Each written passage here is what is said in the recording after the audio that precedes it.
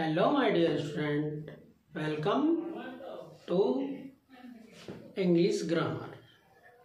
Student आज हम आपको इंग्लिश ग्रामर सिखाएँगे है ना आज ये फ़र्स्ट वीडियो है इंग्लिश ग्रामर के लिए और जो अगर आप इंग्लिश सीखना चाहते हैं तो आप स्टेप बाय स्टेप सभी वीडियो को देखें क्योंकि हर वीडियो का कनेक्शन अगली वीडियो से होगा, है ना? जो आप अगली वीडियो देखेंगे तो उसका कनेक्शन पिछली वीडियो से होगा। क्योंकि जो ग्रामर होता है, यानी कि हिंदी व्याकरण, ग्रामर को हिंदी व्याकरण कहते हैं तो स्टूडेंट, ये सभी एक दूसरे से संबंधित होते हैं, है ना? तो पहले step by step part part one part two part three इस तरह हम आगे बढ़ते रहेंगे, है ना? अगर आप चाहते हैं कि आपको अच्छी तरह इंग्लिश आ जाए इंग्लिश व्याकरण आ जाए, है ना? व्याकरण सीखना एक अलग बात होता है और लैंग्वेज सीखना एक अलग बात होता है है ना? तो हम इंग्लिश ग्रामर की बात कर रहे हैं, यानी कि हिंदी व्याकरण। इंग्लिश ग्रामर को हिंदी में व्याकरण कहते हैं, है ना? तो स्टूडेंट अगर हम व्याकरण की बात करेंगे तो व्याकरण का मतलब है कि हम एक लैंग्वेज सीखना चाहते हैं, एक भाषा सीखना चाहते हैं, है ना? तो सबसे पहले हम भाषा के बारे में ये बात कर लेते हैं कि भाषा होती क्या है है ना?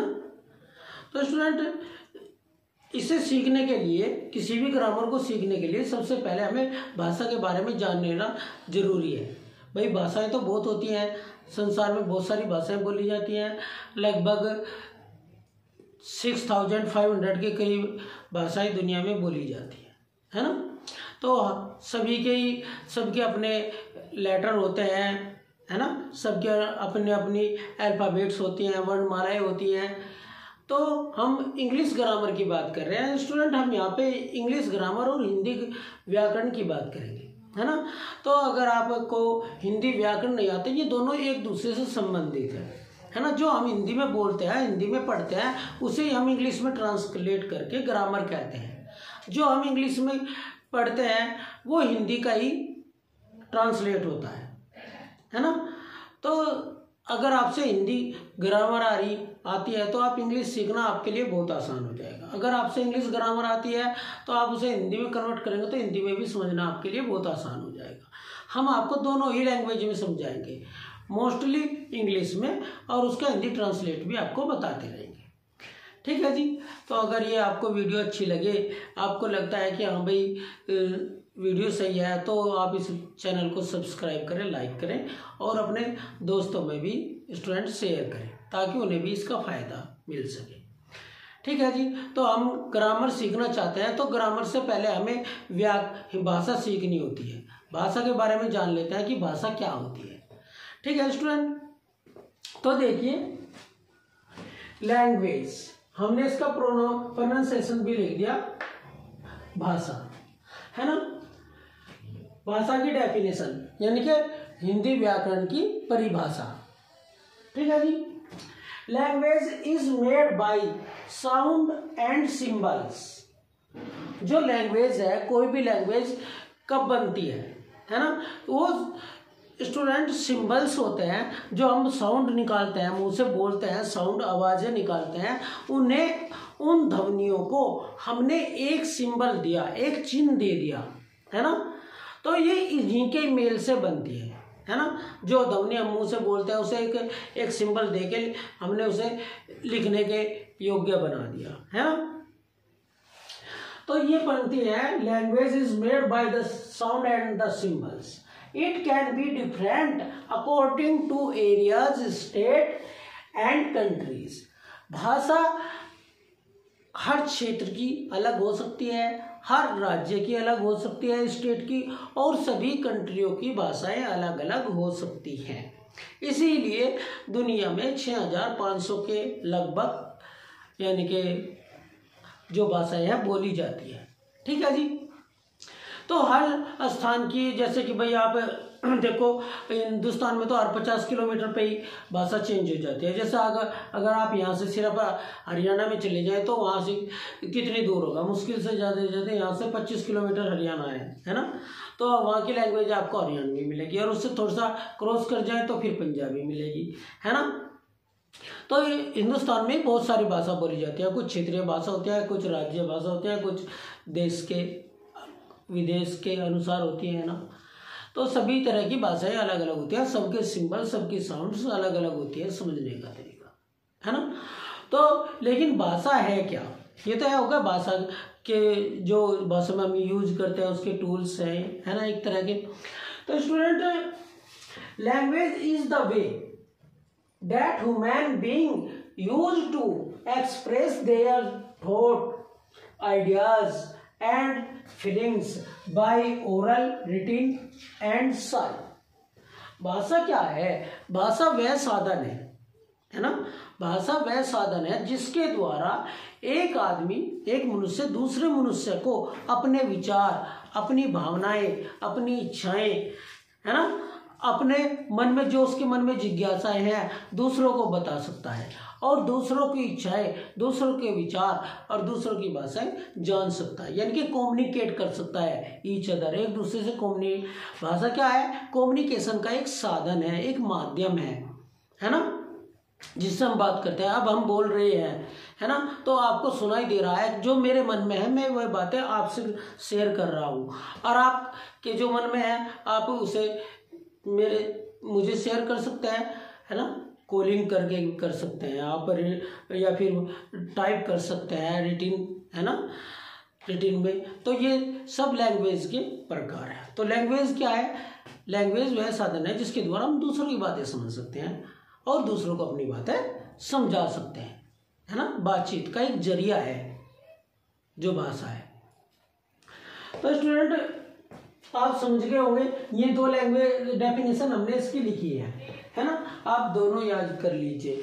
जो लैंग्वेज कोई भी ग्रामर होती है, व्याकरण होती है स्टूडेंट वो जो छोटी क्लास से और बड़ी क्लास तक एक जैसी ही होती है, उसमें थोड़ा थोड़ा ऐड होता हुआ चला जाता है है ना? तो हमें कोई भी चीज़ अगर सीखनी है तो हमें उसे बेस से सीखना चाहिए, बिल्कुल डीपली समझना चाहिए। जो ये बातें आपको बताई जाती है, ये लैंग्वेज आपको बताई जाती है, इन्हें आपको एक अपनी एक रजिस्टर बना लीजिए, उसमें नोट करते रहिए और इन्हें रोज़ाना याद कीजिए, लिख कर देखिए, है ना? तो स्टूडेंट ये जो लैंग्वेज है, ये ट्वेल्व जो ग्रामर होती है, सब की एक जैसी होती है, थोड़ी सी ऐड ऐड होता हुआ चला जाता है, उसमें थोड़ा सा बढ़ता रहता है। उसका पार्ट पोर्शन है ना? तो लैंग्वेज अगर ट्वेल्थ क्लास वाले बच्चे पर भी ये उन्हें, ये बात ये बात नहीं पता कि लैंग्वेज क्या है है ना? तो उसके कितने भाग होते हैं? तो उसे भी ये बेस सीखना ही होगा, क्योंकि अगर कभी कंपटीशन में जाते हैं तो उनमें भी ये बातें आती हैं कि लैंग्वेज क्या होता है, कितने प्रकार की होती है, कोई भी क्वेश्चन दे देते हैं। तो स्टूडेंट की जो कंपटीशन के मैथ होते हैं, उनके लिए भी ज़रूरी है। और जो छोटी क्लास से अपना स्टार्ट कर रहे हैं इंग्लिश सीखना, उनके लिए भी बहुत ज़रूरी है। है ना? तो सब, सभी के लिए, सभी विद्यार्थियों के लिए ये वीडियो महत्वपूर्ण है। ठीक है जी? तो आप इसका रोज़ाना अध्ययन करें। देखिए, भाषा जो ये व्याकरण सिखा रहे हैं हम आपको, व्याकरण की इतनी आवश्यकता नहीं होती। है ना? जैसे कि कोई छोटा बच्चा होता है, वो अभी किसी भी देश में पैदा हुआ है किसी राज्य में पैदा हुआ तो उसे व्याकरण सीखने की आवश्यकता नहीं है। भाषा वो स्वयं ही सीख लेता है है ना? सीखना क्या पड़ता है? उसे व्याकरण सीखना पड़ता है। क्यों सीखनी पड़ती है व्याकरण? व्याकरण सीखने, हम इसलिए सीखते हैं ताकि किसी भी भाषा को शुद्ध लिखना, बोलना और पढ़ना आ सके, है ना? क्यों सीखते हैं हम? व्याकरण, किसी भी भाषा की व्याकरण की क्यों आवश्यकता होती है? हमें उस भाषा को शुद्ध लिखना, पढ़ना और बोलना आ सके। तो हम उसके लिए हमें व्याकरण की आवश्यकता होती है। और भाषा की आवश्यकता क्यों होती है आपको? कम्युनिकेट करने के लिए, बातचीत करने के लिए, एक दूसरे के विचारों को समझने के लिए, है ना? अपने विचारों को दूसरों को समझाने के लिए। ठीक है जी? समझ में आ रहा है ना आपके वो? तो जी ये हमारी दो डेफिनेशन थी लैंग्वेज की, भाषा की इन्हें आप अच्छी तरह याद कर लेंगे। फिर देखते हैं काइंड ऑफ़ लैंग्वेज भाषा के प्रकार। भाषा कितने प्रकार की होती है है ना? तो जी there are three type of language language जो भाषाएँ हैं, वो तीन प्रकार की होती है है ना? नंबर एक राइटिंग लैंग्वेज राइटिंग लैंग्वेज यानी कि लिखित भाषा, है ना? जो लिखित भाषा क्या होती है? जिसमें, जिस लैंग्वेज को हम, जिसके जो साउंड होती है, उन्हें सिंबल के द्वारा लिखते हैं, कागज़ पेंसिल से।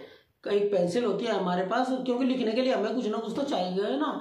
तो एक एक पेंसिल मोस्टली जो कॉमन होती है, और एक पेपर तो हम उस पर लिखते हैं, है ना? तो देखिए, हमने लिखा है writing language is the written form of कम्युनिके communication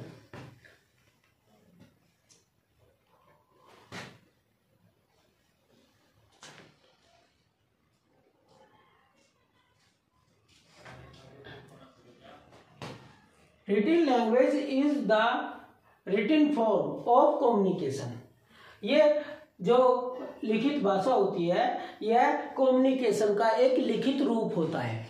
है ना? वह भाषा जिसे हम लिखकर लिखकर अपने, अपना, अपनी बात, अपनी मन के विचार दूसरे को समझाते हैं, है ना? दूसरों को तक पहुंचाते हैं और दूसरे के विचार लिखे हुए खुद समझ लेते हैं।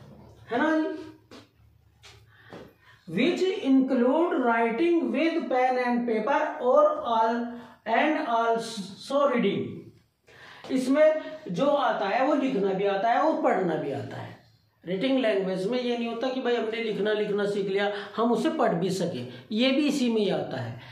और इसमें लिखने के लिए हमें पेन और पेपर की आवश्यकता होती है। ठीक है जी? समझ रहे हैं ना? तो जिस लैंग्वेज को हम पेन पेपर के द्वारा या किसी भी चीज़ के द्वारा लिखते हैं, जैसे कि आजकल तो टाइप भी होती है ना। है ना? तो वो भी रिटिन ही है। टाइप टाइपराइटर से करो या फिर आप कीबोर्ड से करें, है ना? तो ये भी भाषा का एक लिखित रूप ही है है ना? तो स्टूडेंट आप समझ गए होंगे, जैसा लेटर लिखना, पत्र लिखना एप्लीकेशन लिखना, है ना?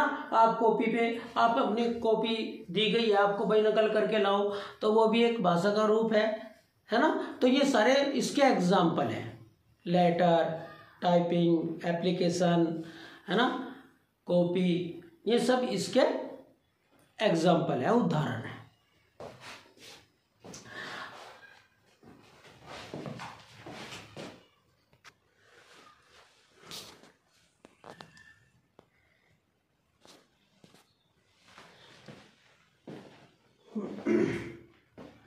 तो जी, लिखित भाषा आपको समझ में आ गई होगी, क्या होती है लिखित भाषा? अब है जी ओरल लैंग्वेज ओरल का मतलब होता है मौखिक. और मौखिक का मतलब क्या होता है? जो हम मुँह से बोलते हैं. मौखिक जो है, वो मुँह से ही शब्द बना है. है ना? मौखिक भाषा, जो हम मुँह के द्वारा बोलते हैं. है ना जी?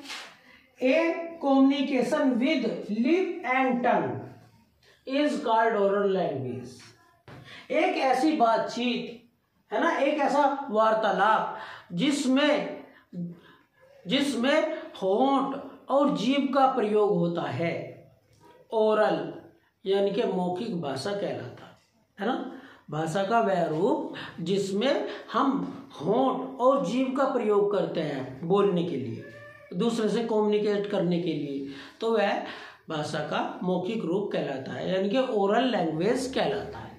है ना देख लीजिए ओरल लैंग्वेज मौखिक भाषा है। A communication with the lip and tongue is called oral language oral language is the exchange of their ideas with other person इसमें हम क्या करते हैं? अपने विचारों को, अपने भाव को, अपने मनोभाव को, अपनी दशाओं को, है ना? अपनी हर फीलिंग को दूसरे के साथ शेयर करते हैं। कैसे करते हैं? ओरली मुँह से बोलकर। ठीक है जी? तो समझ में आया आपको कि ओरल भाषा क्या होती है? ओरल लैंग्वेज क्या होती है? है ना?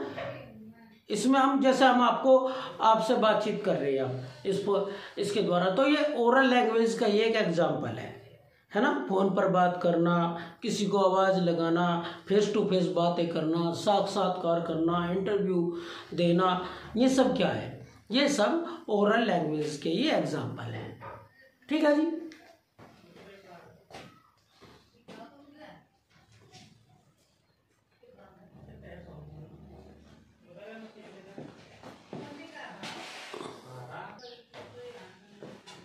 तो जी, अब है नंबर तीन साइन लैंग्वेज वैसे स्टूडेंट इसका इतना यूज़ नहीं होता, कुछ बुक में तो ये दी भी नहीं होती, दो प्रकार की लैंग्वेज देते हैं। भाई दो प्रकार की लैंग्वेज होती है, एक तो ओरल और एक रिटिन लेकिन तीन तरह की लैंग्वेज होती है, ये तीसरी तरह की लैंग्वेज भी बहुत इंपॉर्टेंट होती है।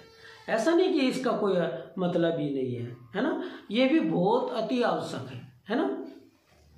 देखिए साइन लैंग्वेज सांकेतिक भाषा या इतिक भाषा।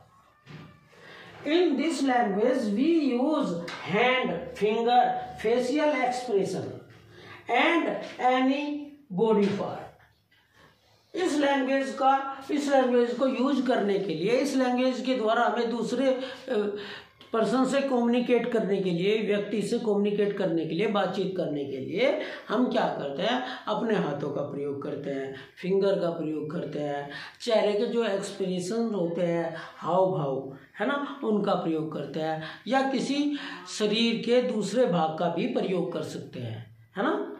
जैसे कि मैं भी आपको हाथ से ऐसे सारा कर रहा हूँ तो आपको दिख रहे होंगे कि ये सांकेतिक लैंग्वेज है। अगर आप किसी को बुलाने के लिए ऐसे करते हैं हैं? करते हैं ना? या किसी को रुक जाने के लिए ऐसे हाथ करते हैं तो ये सांकेतिक भाषा है है ना? यानी कि साइन लैंग्वेज है। साइन लैंग्वेज का अपना बहुत बड़ा महत्व होता है।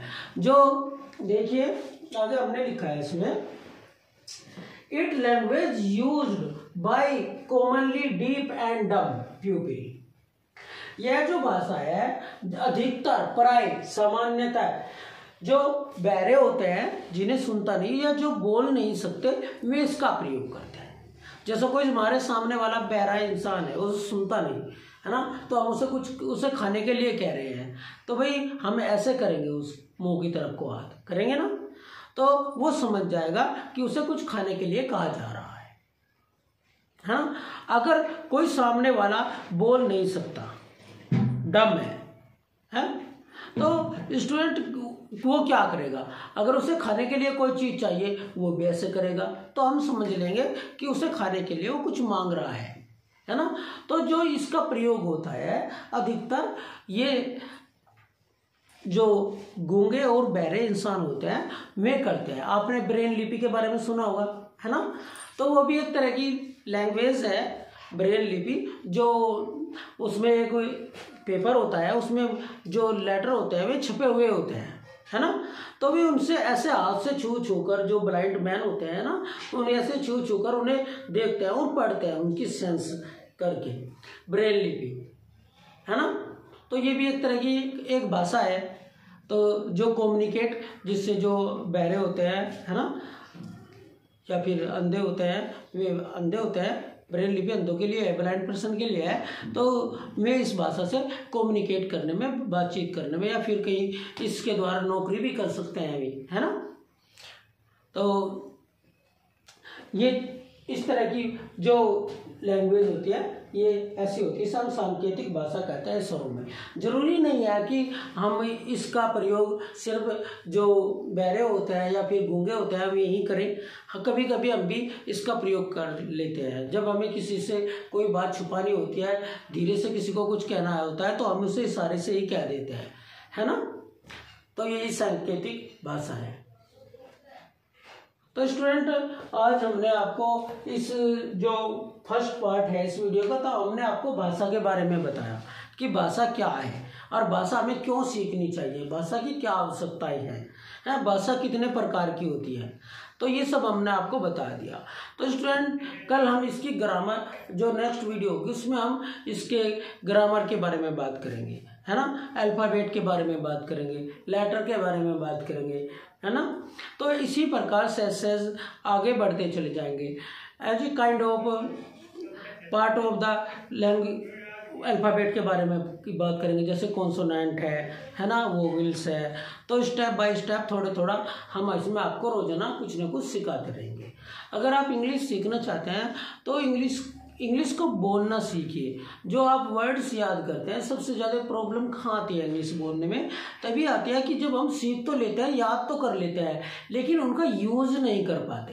है ना? हमें कोई ऐसा ऐसा नहीं मिल पाता जो, जिसके साथ हमें उससे यूज़ करा जाए, और उससे एसेस एसेस क्या होता है, वो हमारी मेमोरी से डिलीट हो जाती है। है ना? तो स्टूडेंट भाषा के बारे में कुछ और बात करें, जो संसार की सबसे पहली भाषा है। वो संस्कृत को कहा जाता है। संस्कृत जो होती है, वो सभी भाषाओं की जननी है। ऐसा माना जाता है कि भगवान शिव के साथ ही इसका जन्म हुआ है। है ना? भाषा का। और दूसरी भाषा जो है, वो तमिल को कहा जाता है। दूसरे नंबर पर तमिल भाषा आती है। अगर हम देखें तो संसार की सबसे मधुरतम, सबसे प्रिय लगने वाली भाषा कौन सी होती है? तो स्टूडेंट वो होती है मदर लैंग्वेज है ना? मातृ टंग। है ना? तो यानी कि जो हमारी मातृभाषा है, वही दुनिया की सबसे प्यारी भाषा है, जिसमें हम बातचीत कर सकते हैं अच्छी तरह। है ना? जो हमें अपने माँ बाप से मिली है। तो दुनिया की सबसे अच्छी भाषा वो ही होती है।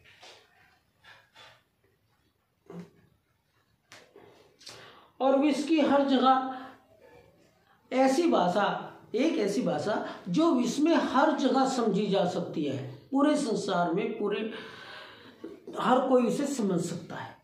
है ना? कुछ पर, एक दो परसेंट तक जो जानवर भी होते हैं, वे भी इस भाषा को समझ लेते हैं। ऐसी कौन सी भाषा होती है जिसे सभी समझ लेते हैं?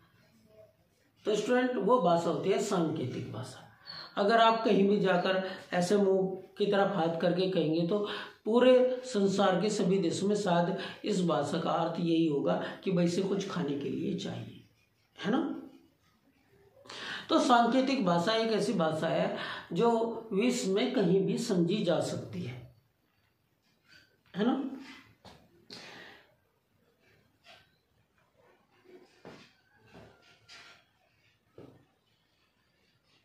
जो संस्कृत है, ऐसा माना जाता है, कम से कम पाँच हज़ार साल पुरानी भाषा है।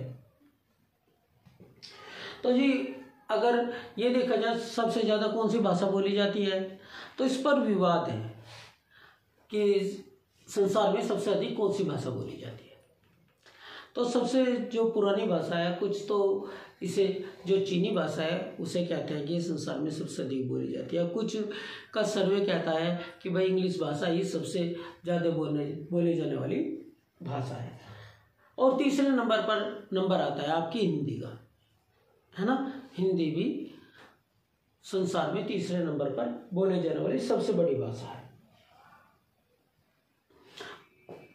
ओके, स्टूडेंट अगर आपको ये वीडियो अच्छा लगे तो आप इसे लाइक करें शेयर करें। और अगर आप कुछ और बदलाव चाहते हैं या पहले कुछ किसी और टॉपिक पे वीडियो बनवाना चाहते हैं तो आप उसे कमेंट में लिख सकते हैं। है ना?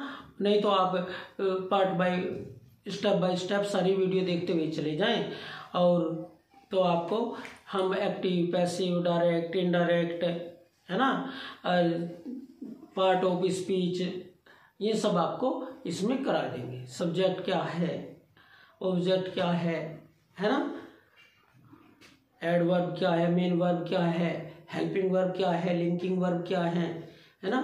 ट्रांजिटिव इन ट्रांजिटिव तो ये सब हम आपको स्टेप बाय स्टेप कराते चले जाएँगे। ओके स्टूडेंट तो चैनल को सब्सक्राइब करें लाइक करें। Thank you for watching this video